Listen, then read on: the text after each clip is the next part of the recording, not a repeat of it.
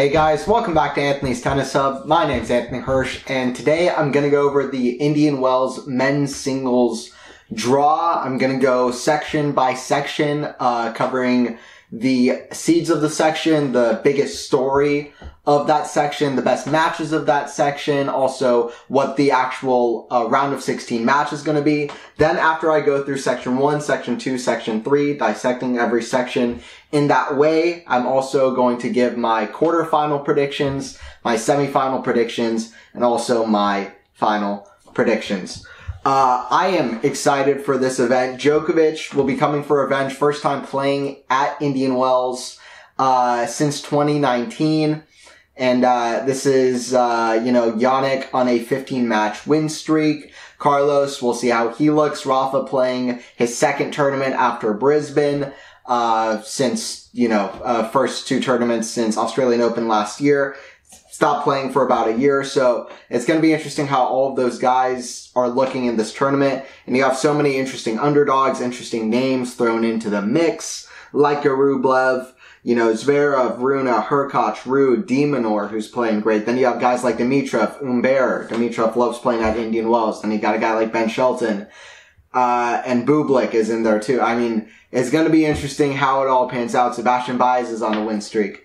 So, it's going to be interesting how it pans out. Appreciate you guys joining in. And uh, don't forget to like the video. And don't forget to subscribe like always if you are new. Uh, but yeah, gonna go through section by section. Without a further ado, section one, we got the seeds are Djokovic, Etcheverry, Tommy Paul, and Humbert. Uh, like all those guys, uh, Paul and Humbert, two of the flashiest guys on the circuit. If we get matches with them against Djokovic, those are going to be fun matches to watch. Story of the section, Hugo Humbert is on a crazy run right now. Um, that would be really fun to, uh, fun to watch if they can play uh, if they can play Novak and to test Novak a little bit. Um, so that'd be really really fun. I think uh, two guys that are you know Paul isn't the biggest hitting guy around, but he's pretty aggressive, all court player, constantly moving inside the court. Um, so either of those guys versus Novak would be fun. Story of the section, uh, Hugo Humbert's on a crazy run right now. Whether it was Moselle to end the season last year, literally in the last week of the season, or whether it's in Marseille, the way he's playing in Marseille, or whether it's uh, just any tournaments he's been playing recently. Dubai, obviously, last week in ATP 500 in Dubai, beating Medvedev. But even last year, he beat Rublev in a very close match. Um, and uh, he's been beating top, top guys, and it's, you know, it's, it's very exciting to see a guy with such big weapons who doesn't really have that many holes in his game to poke through, which really makes people think if he can sustain this, he's a top 10 guy. And he's pretty young too. He's 25. Uh, he's turning 26 later in the year, but he's 25. I, I think that this is a guy that, you know, if we consider like Ruud, Tsitsipas, next gen, this guy's also one of these guys that's going to be around for a while. The question is if he can sustain this form, which is a big question. Um, so we'll, we'll see how long he can sustain it. Like we saw with Francis Tiafoe had a good run of form for a little bit and then he kind of lost it a little bit. But uh, we'll see. Hopefully, I hope that Hugo doesn't fall into that holy six and zero oh in finals. And I think everybody's looking at mouthwatering Humbert versus Djokovic and what that's going to look like. And what that might look like is a guy who's so confident in his own game, like a Jannik Sinner, who is confident in the weapons that he brings to the court, who can push Novak off the court and, you know, kind of fool around with his kind of rhythm and uh, not give him anything. That that or hopefully not give him anything. I, I feel like that was one of the biggest issues with Hugo is that he was kind of up and down and mentally was a big part of that. But he was very up and down and hitting a lot of errors, um, often just off of very neutral shots. But now I feel like he's really honed in on his game and he's been able to be so consistently and impressively aggressive. He's always had the talent. He's always had the skills it was just about getting the wins and getting in the habit of winning. And uh, listen, Djokovic might have lost the Australian Open and United Cup, but he's still in the habit of winning. He won four of the five biggest events last year. He's still at the top. So anyway, uh, I'll tell you what I predict will happen later, and I'll do that for every section as well. And then dark horses, potential upsets. I've got Kovacevic, I've got Michelsen, and Humbert, uh, I kind of think Kovacevic is kind of going under the radar a little bit as a very talented American guy coming up. 92 in the world. He's got as high as, I think, 75, 80 in the world. Um, got through qualifying uh, last week in Acapulco, beat Hijikata in the qualifying, then beat Jordan Thompson off of Los Cabos. Played a pretty good match against Rune. The week before, he played a very good match against Tsitsipas um, there, and uh, he's had he's had a few solid results um, that I think are impressive, and uh, I just want to give him a shout out, especially over the last couple of weeks. So you never really know uh, for sure with uh, with him. Uh, he could potentially have Etcheverry bet- before playing Novak in the third round. Then I've got Alex Michelsen. like I said, plays Munar. Michelsen's impressive. I mean, he dismantled de Minaur, who's one of the most informed players on the planet right now, uh, before going up 6-0, 3-0 on Jordan Thompson, who would go on to win the title in Los Cabos. He's been impressive even long before that. I know he's a bit of a messy, kind of inconsistent player right now, but he's very new, inexperienced. He's still figuring out his game in a big way, but he's so clearly talented and has so many tools to offer. And, um, I think that he's all, he's a guy that's dangerous. So I don't know if I would pick him over Tommy Paul. I wouldn't, but I also won't be surprised if there is an upset there. I'll just go ahead and say that because he is a very big talent. And uh, Tommy Paul just lost, I think, 6-0, 6-4 to Draper last week. So we'll see how Paul shows up. That'll be interesting in itself. And then uh, obviously Humbert as well. Already spoke about Humbert. Round of 16 match. Djokovic beats Humbert in three sets. That's my prediction. Novak is Novak. And I still think he's at the very top of the game. And I, you can throw any name at me and I still will just be like, it's Novak. And I'm not, I'm not going to say that guys can't be Novak and Jannik's done it three of the last four times and I, Jannik can, could absolutely do it again. And, uh, I just, it wouldn't be even that I would not be shocked. I will, uh, you know, I'd almost be expecting it at this point for, for Jannik to do it or somebody else like that. So he can lose, but he's still at the very top. He's still playing at a top tier level. This is an event he loves. He won this event three years in a row, did Novak, and um, I just think don't underestimate Djokovic. And uh, yeah, he's got he's got Hugo, and Hugo's going to be tough. All the things I said with the big weapons that Hugo has, and he's so confident, and you need that confidence. But does that confidence dwindle a little bit when you play against Novak? That's kind of the question. And I guess we'll see what happens. But I've got Djokovic coming through that in three sets.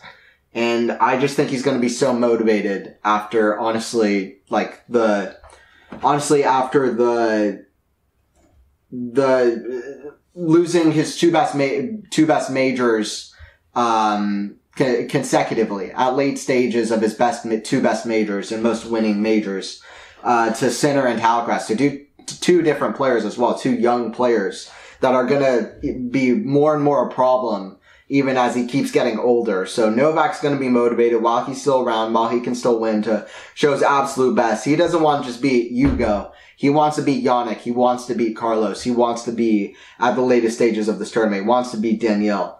So we'll see, we'll see what happens, but I've got Djokovic. I think his motivations are going to be so high and I really just can't go against Djokovic. But before I move on, how, how those two played before? I think I, I have looked into this, but I don't remember as I I speak. Okay, so they played once in 2019 Wimbledon. Novak won in straight sets. So it'd be their first match in a long time. It would be a very good one. I hope we get it. Section two, I've got Casper Ruud, Fokina, Norrie, and Hurkacz. Those are the seeds. Ruud, Fokina, Norrie, and Hurkacz. Some opportunity here, no doubt about it. Some opportunity. Norrie is far from his best form. Fokina is inconsistent. And uh, Casper and Hurkacz. Uh, it will be interesting how it unfolds. Story of the section. I've got how does Ruud do after a couple of great weeks on hard courts. You know, he didn't pick up a title on hard courts in either of the last two weeks, but he had some great wins uh, in the semifinals both times, beating Tsitsipas and beating Rune. Rune was a fantastic match, and uh, just you know, just huge, huge forehand hitting and it was just such great fight and heart from Casper. Down a break a couple times in that third set. And uh, very, very good stuff. Similar to Tsitsipas, by the way, as well. Saving so many chances against Steph, especially in the second set of their match.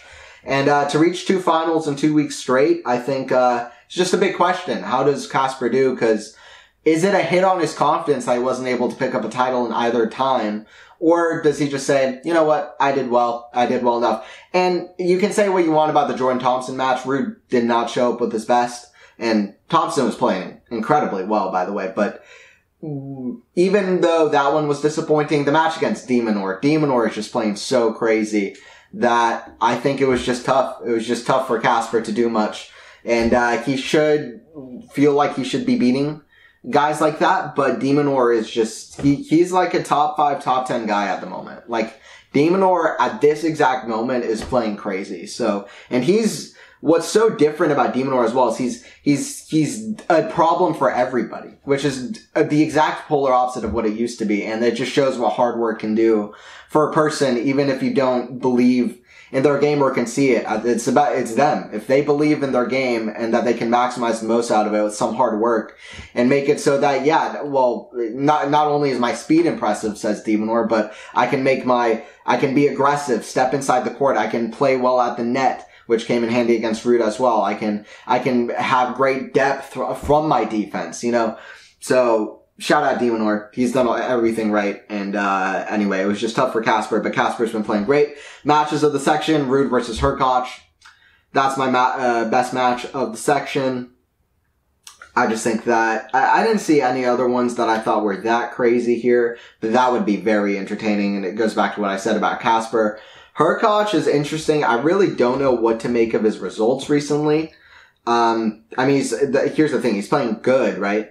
But it's just like how how well, you know, how to what extent? How well is he playing? Like in Dubai, he lost to Humbert. He had a couple match points on that. Let's see what that does to his confidence. He's just playing too many of these moments with tiebreakers. He played nine consecutive seven point tiebreakers, which I wonder how far that is from the record. Um, but you know, I uh, he lost to Griekspoor in six seven seven six seven six in Rotterdam. Griekspoor is underrated though at the moment. He lost to Humbert again in Marseille at the Australian Open. He lost to Medvedev. Hurkacz is playing well. He's losing to very very top players, but it just feels like I don't know. He he's not at necessarily his peak peak form, but he's playing very well. I feel like that would be an accurate and su- succinct way to uh, describe Hurkacz's kind of uh, kind of form at the moment. Uh, you know, I I I like Casper. If if we see that, uh, then I like Casper. Dark horses. I've got Monfils. Monfils has been playing well recently. He's in great form, which is so good to see. He's almost 38 years old, and he's still an incredible athlete defensively as well. And um, I guess we see that nowadays more than ever with a guy like Rafa, with a guy like Monfils, who are similar age um, it's very encouraging to see that they can still, you know, move and play so impressive athletically. And it, it goes back to, listen, a good athlete's a good athlete and, uh, Novak as well. So, um, great to see that they're still performing at such a high level athletically. Um, and yeah, Monfils is still great. Uh, but round of 16, I've got Ruud defeats Monfils in two sets. I've got Monfils making it to the round of 16. Um, uh, he's got to go through Max Purcell. He's got to go through Hurkacz. Uh, and then also, and then Norrie on the other side. Hurkacz is the big issue of him making to the fourth round. But I just like Monfils. I feel like his form is going to lead him to something. And also, he's had pretty good results at Indian Wells, even in, um, you know, even not that long ago. This is a pretty good tournament for him in general, I mean, 2021 he reached the fourth round. 2022 he re- reached the fourth round. Before that, he reached the quarterfinals. Uh, he's been doing pretty well at this tournament, even uh, even pretty recently. So I uh, I like Monfils getting through that, and then I've got Casper really picking up and uh, beating Monfils in two sets. And uh, okay, then on to section three. I've got Medvedev, Korda, Mannarino, and Dimitrov. Story of the section: Can Medvedev make it through the impossible section unscathed. Uh, this section is hilarious. I, uh, it's, it's so tough for Medvedev. And I know Medvedev reached the final last year of Indian Wells, but if you watched him play Dimitrov at 2022 Indian Wells, or was it 2021? 2021 Indian Wells, when he is, he had already been struggling year after year at this tournament. And he was up threes, like, he was up a double break in a set on Dimitrov, cruising, And it looked like, okay, he's finally finding some form at Indian Wells, beating a great player like Dimitrov, who always plays well at Indian Wells. Then Medvedev just completely fell apart and started playing just such weird tennis for what the level that we're used to seeing from him. And I just think that Medvedev at Indian Wells, he said it even himself last year on route to the final. Uh, had to play Tiafoe in the semis. I mean, Tiafoe was great, but he didn't have to beat a guy like an Alcaraz or a center or a Sinner or somebody on the route to get there. He had to beat Zverev, but Zverev was still coming back, but that was still a great win. Still a really, really good win. He was down a set and a mini break and a tiebreaker. Came back. Um, but yeah, I, uh, I just think that Medvedev, I don't know if he's going to be able to keep replicating that. And I, uh, I, his draw in that section, I mean, on the other side, Fritz and Rune aren't so bad, but that section is, is just tough uh, with um, with Korda and Demit uh, Korda who beat him in Australian Open, Dimitrov who beat him in Paris last year, Mannarino, who has a winning head-to-head against Medvedev and is always tough for Medvedev. Uh, and then you have another other dangerous guys like Safiullin. You've got Wawrinka here. You you have Machac. So and also Dan Evans, for example. These are tough players. This is a very tough section for Medvedev. And that's why I, I am highly considering that Medvedev might not get through the section. Uh, so matches of the section, I've got Korda versus Medvedev. If we get there, Dimitrov versus Medvedev or versus Korda. Dark horses, I've got Sebastian Korda. Korda has been playing great. I mean, he had to retire against Rublev in Dubai, did Korda, but he lost just three games on route to, uh, on route to, I believe, the uh, fourth round there. So, I mean, um, it, just three games lost in his first couple matches. And uh, Korda I always think is impressive. Just such a clean uh, striker of the ball. And I think right now he's getting some experience. He's allowing himself to play. I think mentally he's getting better. Uh, experience is a big part of being able to improve mentally and perform well in the big moments, especially in tennis and getting that rhythm, getting that momentum, playing in these high, high intense moments. And I think Korda is doing that now. He's playing more, and I, I think he's going to be more and more dangerous. So my dark horse is Korda. Round of 16 match in the Medvedev section. I've got Dimitrov beating Korda in three sets. Um, I don't have Medvedev getting through. This would mean that Medvedev likely loses to Korda or for, to Safiullin, for example, but my draw, he loses to Korda. And, uh, yeah, Korda also beat Medvedev, I'd like to say in Shanghai. Was it? I believe it was in Shanghai that Korda also beat Medvedev. So he's proven he can be a problem. Very tight tiebreaker in the first set, then won there 6-2 in the second set. Yeah, in Shanghai, where Medvedev likes to play. So he doesn't like playing that much at Indian Wells, does Medvedev.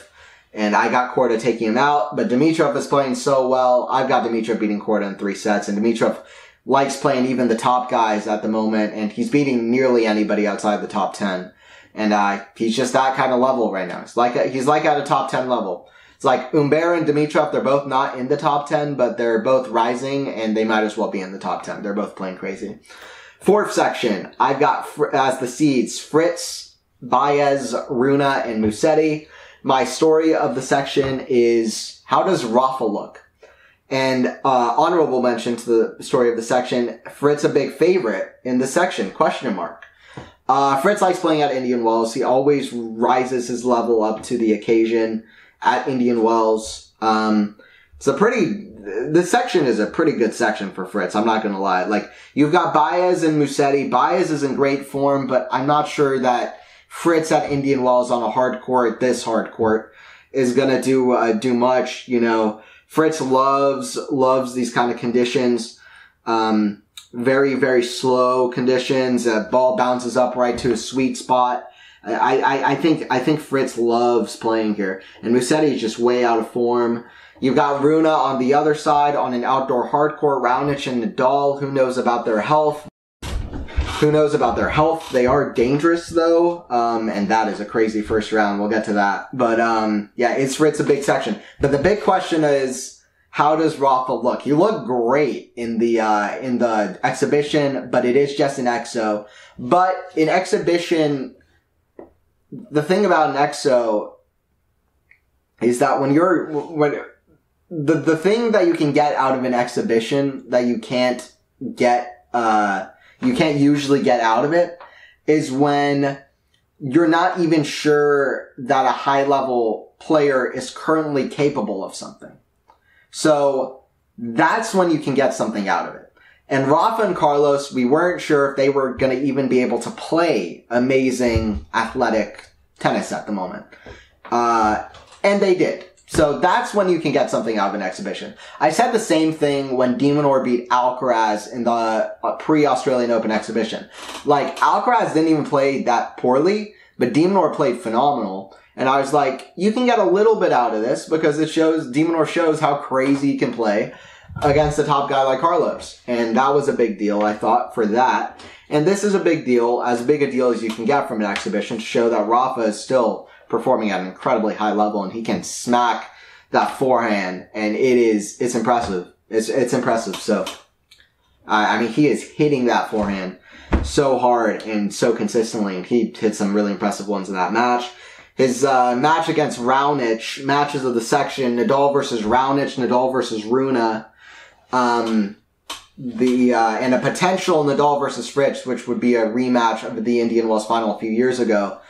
Um, Nadal versus Raonic. Raonic has beaten Rafa twice. Um, you know, Raonic tends to hit the ball pretty flat and pretty hard, which I think can hurt Rafa. Um, the, Raonic also beat Rafa in Brisbane in 2017. Uh, that was uh, right before Nadal reached the Australian Open final. Like he was just coming back, but still impressive victory for Raonic. And uh, Raonic, you know, was so close against de Minaur at the Australian Open, Sinner in Rotterdam, but he had to retire from both matches. But if Raonic is healthy, I think Raonic is going to be really tough for Rafa. And uh, after that exhibition against Alcaraz, I kind of think a lot of people are expecting high things from Rafa.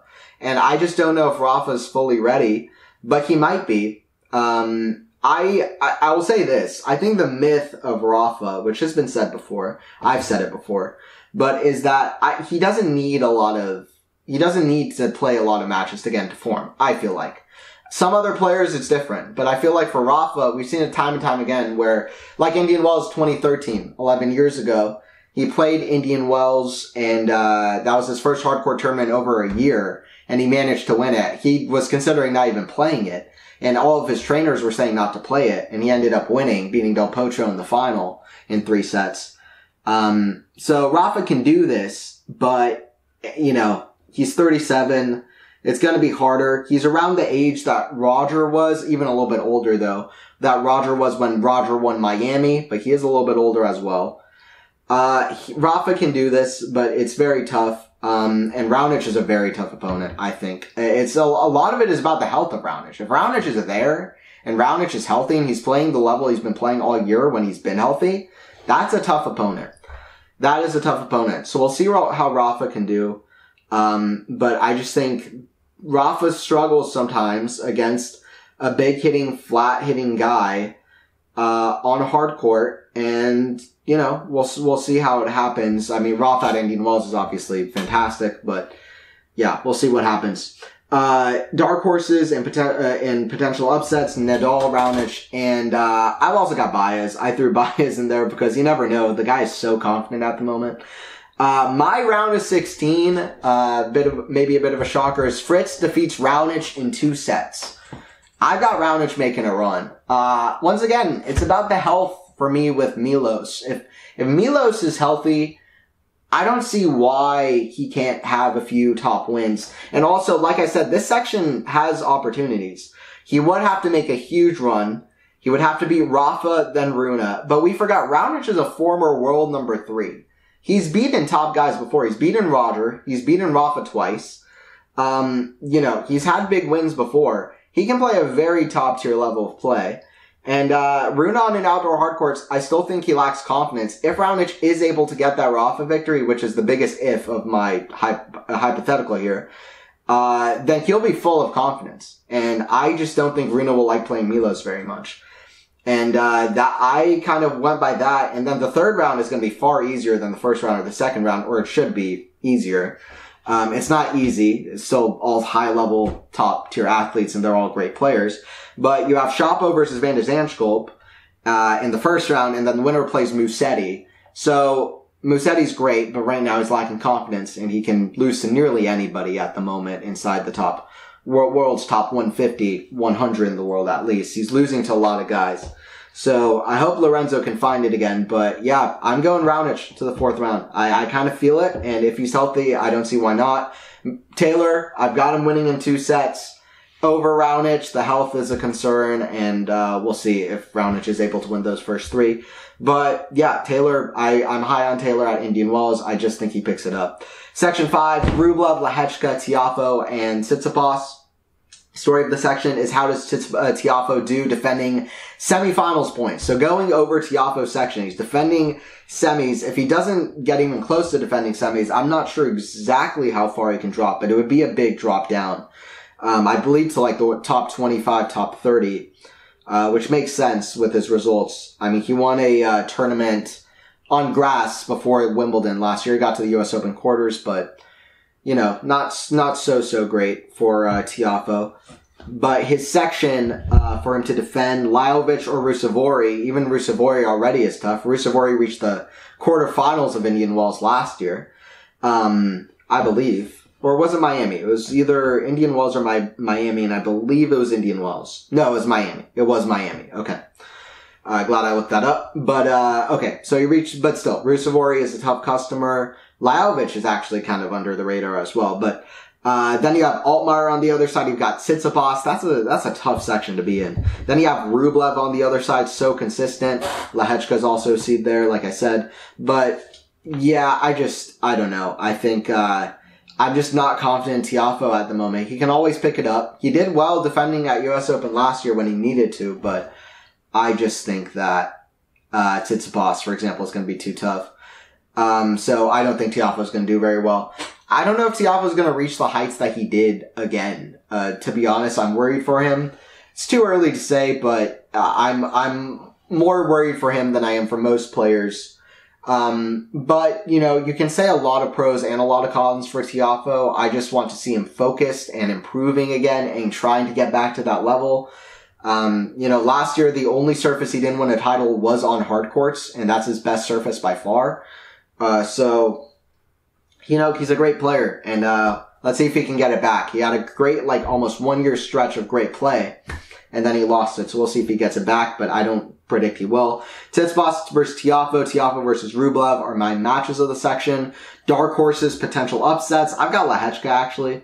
Uh, Lehecka has kind of been actually impressive recently. I think uh, people aren't kind of giving him credit, but uh, Lehecka has kind of I'm not as high on Lehecka as I've seen some people be, uh, you know, over the last year or so, but his recent results are not that bad. He beat Khachanov, for example, Khachanov coming off the title last week.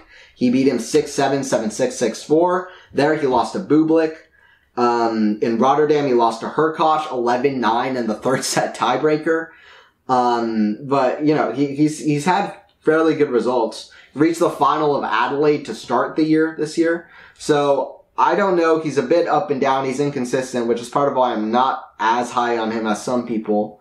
But I just think that, you know, uh, never know with, never know with this guy. And I feel like this section is not open, but it's not the most closed off, impossible to get through section. He's got Eubanks or Nakashima in the second round. He's got Rublev in the third. Rublev be very tough to beat, but you never know. So I just want to give him the nod because I feel like not that many people are giving him the credit at the moment. And then round of 16 match in the section. I've got Rublev beating Tsitsipas in three sets. That would be a great match between two guys that have been top 10 for a long time. Tsitsipas now and exiting out of the top 10 for a few weeks. Rublev did that in August of 2022. But for the most part, these have been two very solid top 10 guys. And, uh, you know, Rublev just had that crazy situation with the default call and uh, it'll be interesting to see how mentally he's composed here. I don't assume it's going to affect the tennis very much. He's just so consistent. I've got him beating Steph in three sets. I don't think Tsitsipas likes Indian Wells very much. He lost to Jordan Thompson here last year, which is I think the first really glimpse of what uh, of Jordan Thompson's best. I think a lot of people saw. He served insane in that match. One of the best serving performances of the year, maybe. Um, and uh, you know, I, but even outside of that, I don't think Steph's ever reached the semis here. He's usually losing before the quarters. I think he's made like two quarterfinals. Indian Wells is not a strong tournament. In fact, let me look up exact percentage for Indian Wells for Tsitsipas uh, compared to the other Masters. Yeah, so 50% win rate at Indian Wells is Tsitsipas losing in the third round in 2022, second round in 2023. 50%. At Miami, it's 62%. Monte Carlo is 83%. Then you have 69, 68, 62, 65, 64. Second worst is 57%. Actually, the only one that's not 62% or over, which is very impressive, actually. But Paris, where the last two years he reached the semifinals. So, He's only reached one quarterfinal. The other four results at Indian Wells for Steph have been second round, second round, third round, and second round. That is very unlike the rest of the results that Steph has had. Uh, kind of reminds me of the U.S. Open, where, where Steph is also 50% win rate. He's got second round, first round, third round, third round, first round, second round. I don't know what it is about, um, the courts at, at U.S. Open and Indian Wells that are so different for Steph from, say, Australian Open or from uh, or from Cincinnati, where Steph has had great success, reaching three consecutive semis in Cincinnati. I, and also at the Australian Open as well. So I don't know what it is that those tournaments play so different, but whatever it is, I'm confused. Somebody tell me. Somebody tell me the answers for why Steph can't figure it out. So anyway, I got Steph losing. Uh, I've got Steph, you know, still getting to the fourth round, which would be better than the last couple of years, but I've got Rublev beating him and uh, part of the reason I have him making the fourth round, by the way, is uh, because I don't think the draw was that uh, is that crazy for Steph. To be honest, in that in that section, um, he's like I said, he's got Tiafoe, he's got Altmaier. Those are players that can be dangerous, but I got him to the fourth round. Then I got Rublev winning in three sets. Even if Rublev doesn't find his best tennis, I can see him beating Lehecka, Eubanks, Nakashima. He could also play Murray. And it would be great to see Murray do something, but I don't expect it at this point. Section six, I've got Ben Shelton, I've got Cerundolo, I've got Jan Lennard Struff, and I've got Jannik Sinner. Biggest story of the section, does Jannik keep his win streak and his form going here? Uh, yeah, I mean, a guy who's this, playing this well at the moment, winning 32 of his last 34 matches, I believe it is, winning his last 15 matches, continuing off of last year. Uh, I don't see that. I don't see Jannik losing very early. You don't see that happen very often. I think he's going to keep the form going. He's got guys like Kokkinakis, Giron. Those are guys who he should beat. Struff is a mentally solid player, very, very tough player, but I, I expect Jannik to get through it. Shelton can be tough. Shelton can be tough. Shelton beat Sinner in Shanghai. Um, and I, you know, he's got the, he's got the skills. He's got the belief to beat a guy like Jannik, but I just don't expect it, to be honest, um, at these courts and I don't know. I don't, I don't expect it, but we'll see. Um, Sinner's got more experience playing at Indian Wells. He's got more, more, more experience in these moments and he's just, I mean, for all the belief that Shelton has, Sinner's got to be in a world of belief at the moment, um, when it gets to those tight moments. And, uh, I just think that Sinner is the more consistent at the moment between the two, but that is a danger guy, a dangerous guy in there. And yeah, I expect Sinner to get through this section. Absolutely. Best matches of the section. I've got Sinner versus Shelton. And I also threw Mensik versus Shelton in there as well. I think Mensik versus Shelton could be a very, very good match. Uh, Mensik's got a qualifier. Mensik having an incredible run in Qatar. Getting to the final there. That could be a great kind of uh, battle between two young players. So yeah, that would be uh, that would be a lot of fun. I'd also point out like Kokkinakis, Giron, Shorich, Struff. I mean, these are players that are fun to watch on the other side. So I'm not going to say they're popcorn matches, but I'll just say Section Six shows up with some uh, matches that are pretty fun watches. So uh, anyway, that's what I would say about that. And um, dark horses, potential upsets. The players I just named: Struff, Shelton, Mensik. Round of 16, I've got Sinner beating Shelton in two sets. Um, I just think Sinner at the moment is on another level. Everything that I said, I think it could be two close sets. Um, you know, maybe like 7-5, 7-6 or something like this, like it was a few months ago. But I, uh, I think it'll be two sets for Jannik. Section 7, I've got Zverev, Griekspoor, Bublik, and De Minaur. We're getting to the end of this, and I'll go through the quarterfinals, semifinals, and final. Story of the section. A few low-key, dangerous, underrated names here might shake some things up. Like in this section, in section seven, you got a guy like Draper, you got Griekspoor, Bublik, Thompson. Um, uh, De Minaur, I don't think De Minaur is a dark horse at the moment, but uh, uh, also Taro Daniel, who beat Djokovic at this tournament uh, like five, six years ago. I don't think Daniel will do something like that again, but uh, you know, Hanfmann is also a guy. Uh, um, you know, I I think that there's some there are some guys here that are pretty pretty interesting and that could do something, and um, I just think that ne- never know. I have a few big kind of takes with the section matches. Of the matches of the sections. Zverev versus Draper would be fun. Griekspoor versus Zverev. Bublik versus De Minaur. Uh, I'll tell you what. I think Griekspoor is going under the radar. Draper speaks for himself. I mean, he's he's the guy who's always dangerous. He's been playing well recently. Uh, if you want to know about Jack Draper's recent results, he lost to De Minaur, but he took a set off of him. He had to withdraw. It's also health with Draper, which is so unfortunate. But he beat Paul uh, 6-0, 6-4, then he beat Nishioka, he beat Kecmanovic, like I said, took a set off Demon De Minaur, and then his health kind of his health kind of ran out ran out on him. But um, outside that, I lost to Tommy Paul in Australian Open. Um, he got to the final of Adelaide to start the year. At the end of last year, he got to the final of Sofia, two finals in a row. Um, and yeah, like I said, last week semifinal lost to De Minaur, but like I said, his health. So anyway, uh, oh, and then Griekspoor. Griekspoor's form recently has been fantastic. I'll, I'll tell you what Griekspoor has been doing, but I think Griekspoor is the ultimate under the radar player. I, I really do. If we're talking about an genuinely under the radar player, I think you don't have to look past the name of Tallon Griekspoor. This guy is under the radar, and uh, people never talk about him, but he's got everything. He's talented. He's mentally strong. He's got the weapons. And uh, he doesn't have that many weaknesses. He's pretty complete. He's pretty surface versatile. He's only improving. He got better last year. He's not. He's 27 years old. He's got some time left in the bank, and he's playing so well at the moment. Dubai last week, he lost to Bublik two tiebreak sets. Um, I'll tell you his other results as well. In Rotterdam, he always performs well in Rotterdam, but this one was great, particularly great, I would say. He beat an unseeded, unseeded Lorenzo Musetti 3 6, 7 6, 7 6. Then right after that, he placed three more consecutive tiebreakers to beat Hurkacz 6 7, 7 6, 7 6. Beats Ruusuvuori 7 5, 7 6. Then loses to Jannik, who is just too good.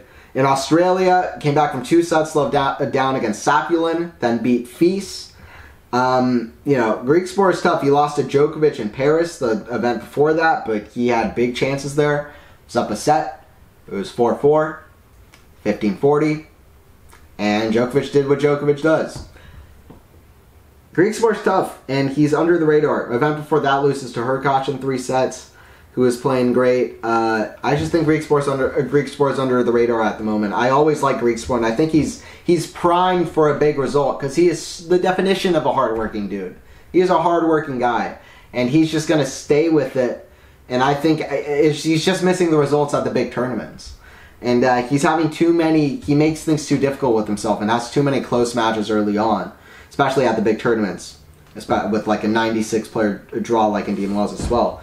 But um, yeah, uh, matches of the sections. Zverev Draper, that could be a lot of fun. Griekspoor versus Zverev would be good as well. Bublik versus De Minaur. Um, Bublik and De Minaur are two of the most informed players. Um, Bublik with the final last week, De Minaur winning the title. That could be fun. Two flashy guys. De Minaur is so fun to watch now that he's at where he is. One of the most fun watches on the tour. My round of 16 is gonna, or actually, first, Dark Horses potential upsets. I've got Thompson.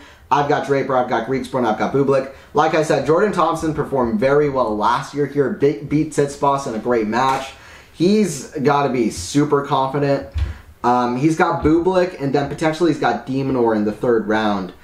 I don't know how much I like De Minaur, honestly, at Indian Wells. I think that these are much slower conditions. These are slow, slower than a lot of hard courts. Like, sorry, a lot of clay courts. These hard courts are slower than a lot of clay courts, even. And I actually don't think it suits De Minaur well. I mean, this guy doesn't like clay. It's like a Hewitt type. Like he sometimes needs this these faster courts to make his game really stand out and really impressive against the top players. I don't know if De Minaur likes it that much. We saw him get to the final of Rotterdam, and then the next week he lost to Michelsen. Uh, he's going to have a lot of pressure and attention on him now. He's not always the guy that's performed very well at the big tournaments as De Minaur. Um, so anyway, those are a few things I would say. My round of 16, uh, and De Minaur can perform well. He's playing the best tennis of his life, reached the Canada final. He can perform well. But my round of 16, I've got Jordan Thompson beating Tallon Griekspoor in three sets. I think it's going to be the weirdest section of the whole tournament. I'm just going to make an out there prediction. Uh, Bublik is up and down. Uh, reached the final last week, but you just really never know with Bublik how he's going to show up. Thompson, he would have Bublik in the second round. I've got Thompson getting through that. Like I said, I don't love De Minaur in these conditions. I think Thompson will like it. He liked it last year. And if Thompson brings that same level, uh, I think he can easily get to the fourth round. Can Jordan Thompson? De Minaur is the tough one, obviously. He's one of the most informed players. Like I said earlier, I'm high on De Minaur at the moment. He, I, I, said he's playing like a top 10 guy, if not better. And I, I, I do agree with that. But I don't love these conditions for De Minaur. And I looked it up for Tsitsipas. But these are De Minaur's Indian Wells results to show that I, I really don't think it's the best, best tournament for him. To be honest, um, like at uh, like at Canada, for example, he's got a 64% win rate. At Paris, he's got 60%. Those are both hard courts that play quicker. Um, you know, here at Indian Wells, he's got 50%, which it really isn't terrible, but that's three second round performances, including last year. Um, and then fourth round, one was a loss to Taylor Fritz, which isn't so bad, but the year before that, in uh, 2021, when De Minaur was already the 22nd seed in 2021, and he's playing much better than he was in 2021. But um, you know, De Minaur lost to Alex, uh, lost to.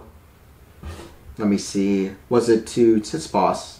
Tsitsipas in uh, three sets. That was the best performance, uh, best run that Tsitsipas had in this tournament. But I mean, even before that, Tsitsipas beat Martinez. This was not a good loss for De Minaur to Tsitsipas.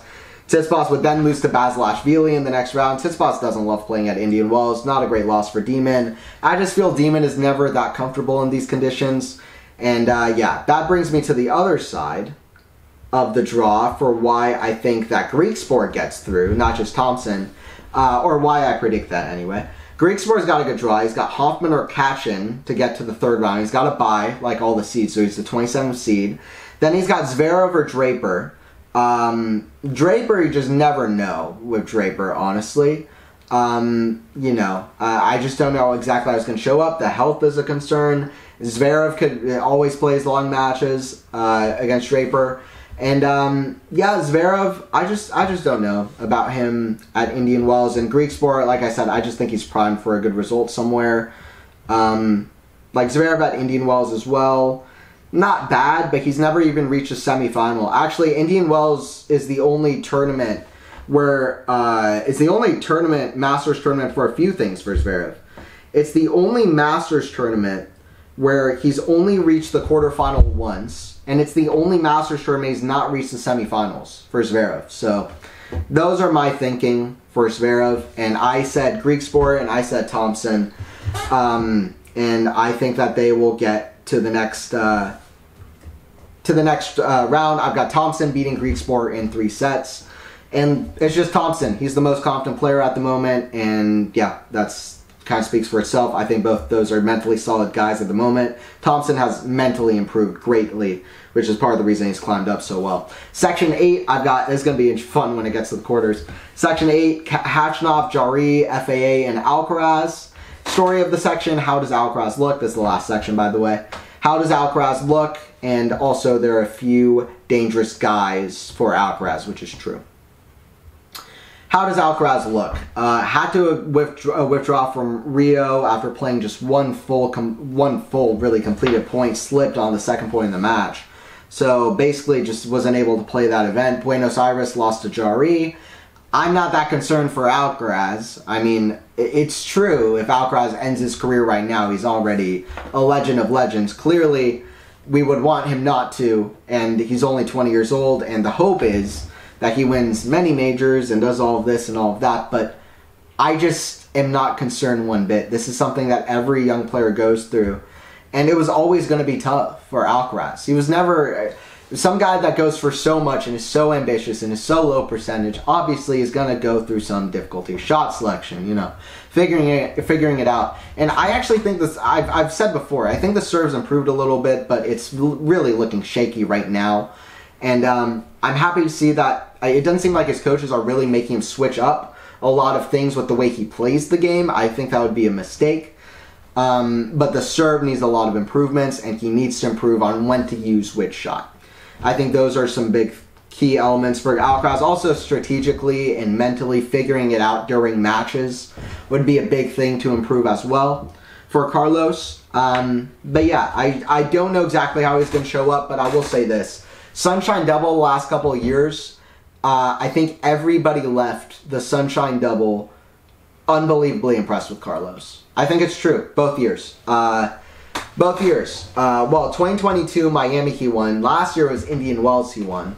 Uh, in such incredible fashion, he won Indian Wells. Miami played two unbelievably good matches against uh, Tommy Paul and Taylor Fritz two of the best performances I've seen on hard course in the last couple years were those two performances, which made it so impressive that Sinner was able to beat and come behind against Alcaraz in Miami, which made that one of the best matches of the year last year. That made it so impressive. And at Indian Wells, uh, he just played unbelievably well. Beat Medvedev like 6 3 6 2. He won the first 10 points of the second set, which is nuts.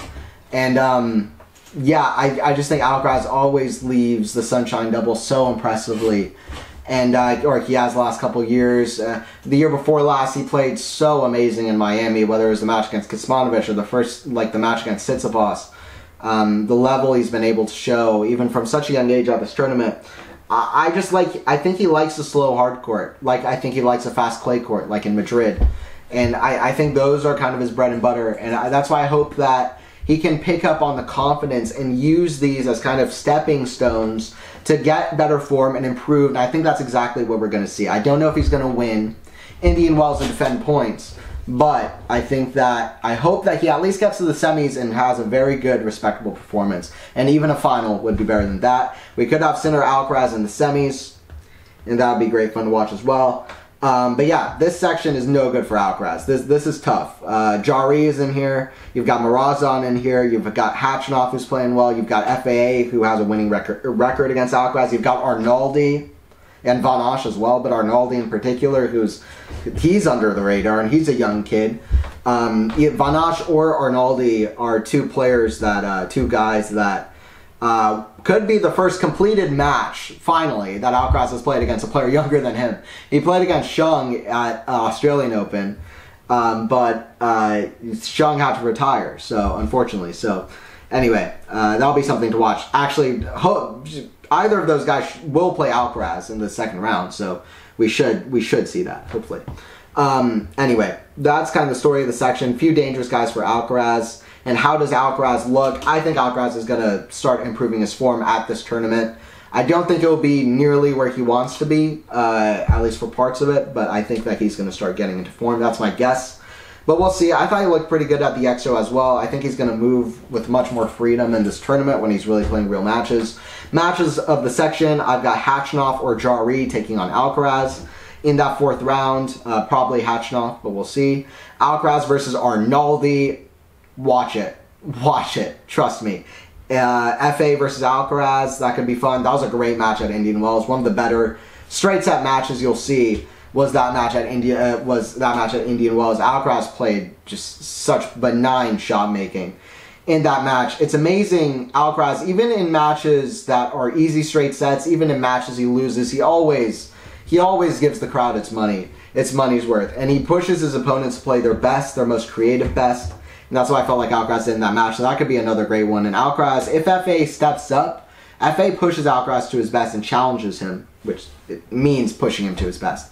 Van Assche versus Arnaldi is another one I included here. I think it's the only really first round match that I've included in my uh, in any of the uh, matches uh, best matches to look out for. But I think that that's a great um, the great match between two young guys. I think Van Assche, honestly, in my eyes, in the future has at least top 20 potential. And I've, I've said for a while, I kind of think he has top 10 potential.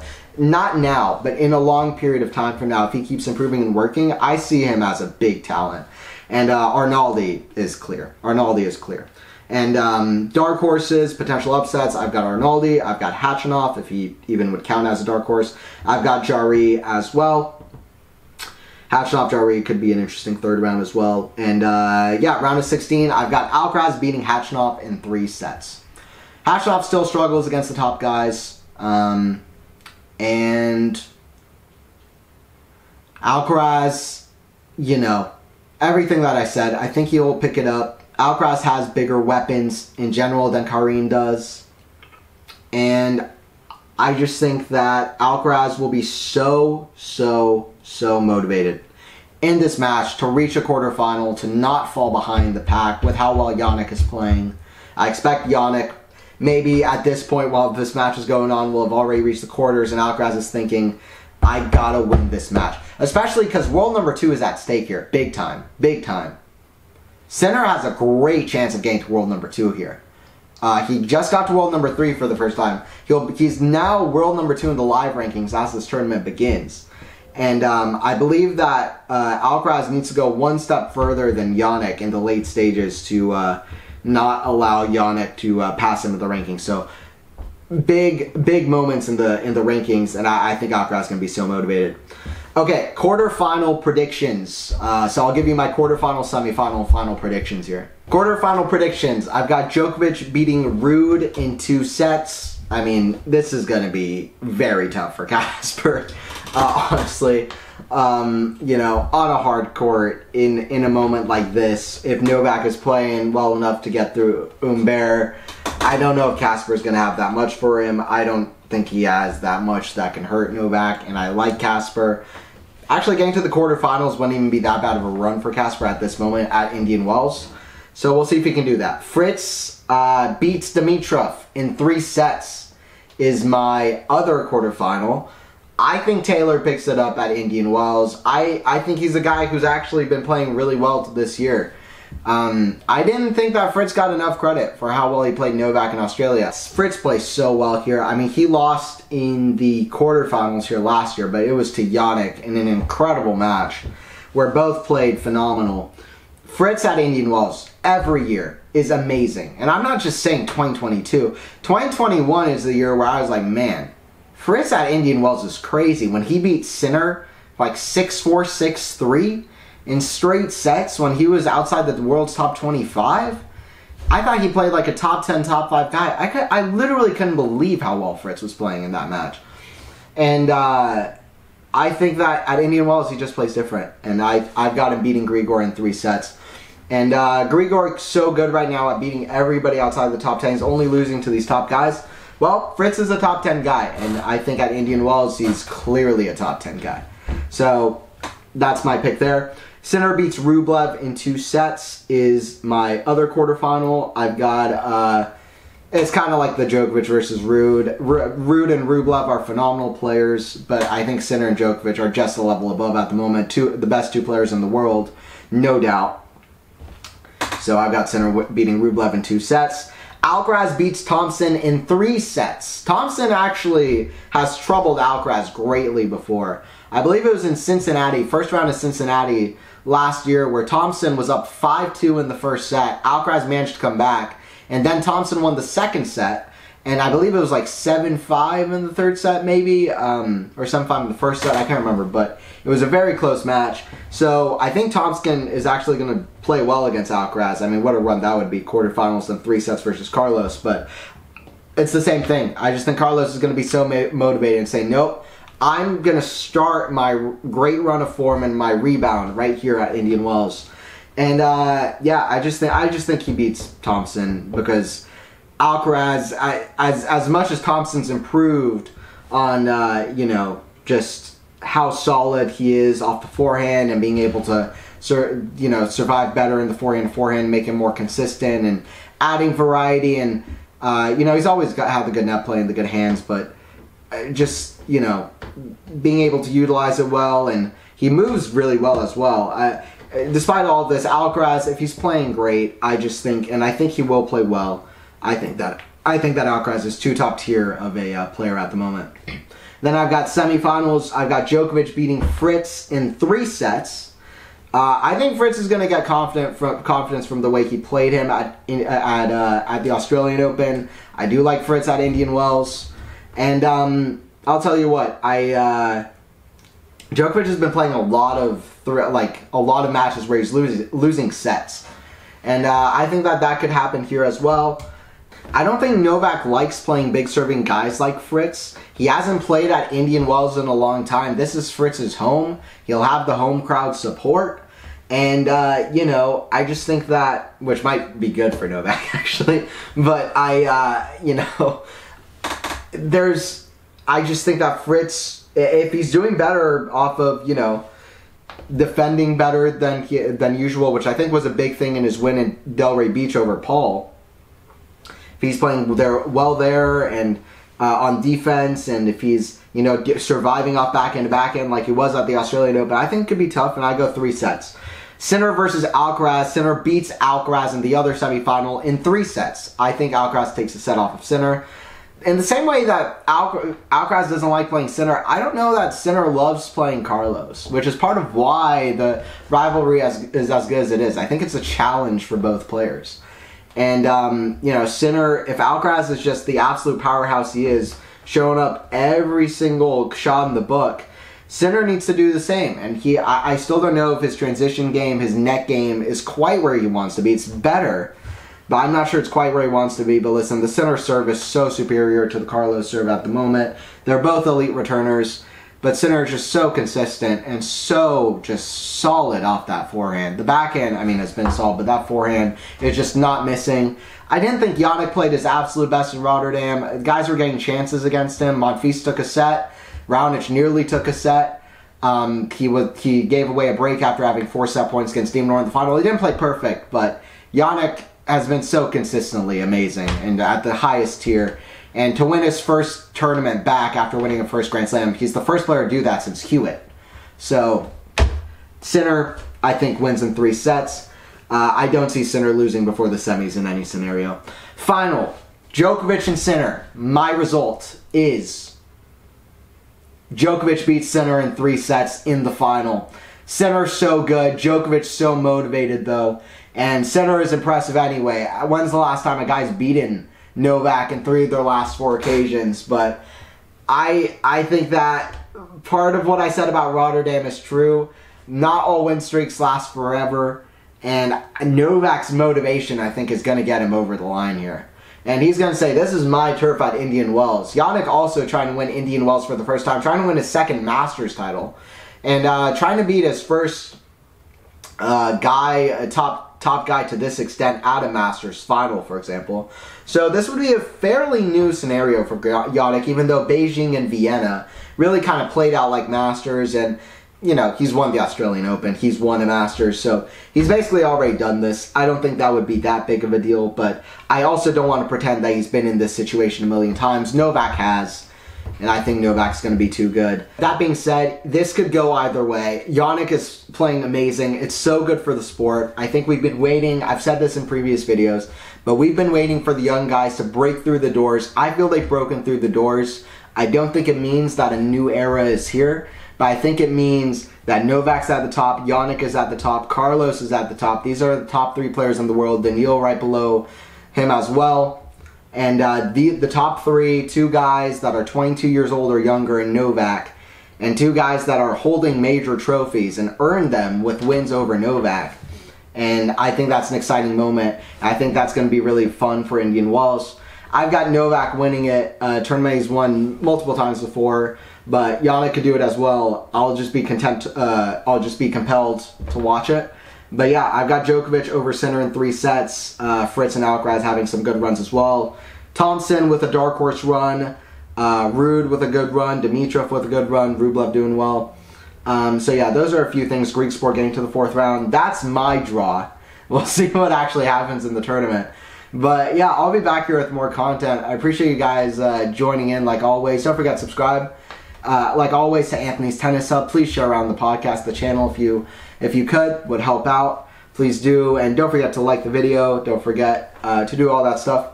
Appreciate you guys watching, and uh, yeah, I'll do more videos on Indian Wells for sure. And um, I'll see you guys at the next one.